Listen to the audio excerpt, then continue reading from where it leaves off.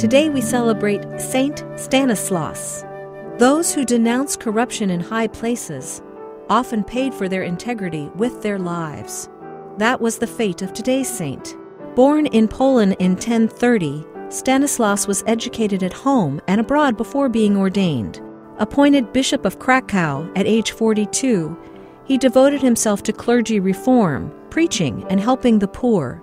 Stanislaus took firm stands against King Boleslaus' treatment of his subjects, as well as his immoral lifestyle. Initially, the king made a public show of penance, but he soon returned to his old ways. Stanislaus remained resolute in his denunciations, determined not to be taken in by the king's performance. Ultimately, Stanislaus excommunicated the king when he saw no evidence of real change. Enraged, King Boleslaus ordered his soldiers to kill the bishop. When they refused, the king killed Stanislaus with his own hands in the year 1079. Forced to leave his throne, Boleslaus reportedly spent the rest of his life at a Benedictine abbey in Hungary. Stanislaus is buried in the cathedral at Krakow. He was canonized in 1253.